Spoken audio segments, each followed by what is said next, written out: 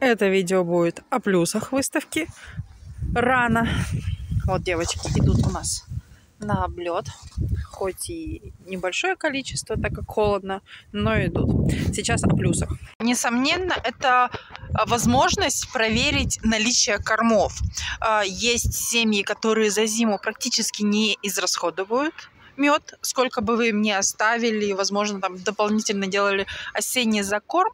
А есть семьи, которые звенят от голода, и для них март – это максимально опасный срок зимовки. Второй плюс ранней выставки зимой – это возможность пчелам облететься.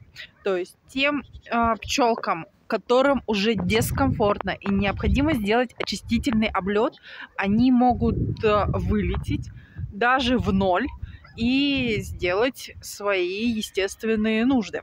Третий плюс – это, конечно же, пчеловоду просто легче на душе, что вот они, девочки, они живы, они живы, они готовы идти в сезон, и пчеловод уже оценивает а, работу на сезон. Ну, естественно, все это в руках нашей природы и погоды, но становится уже спокойнее.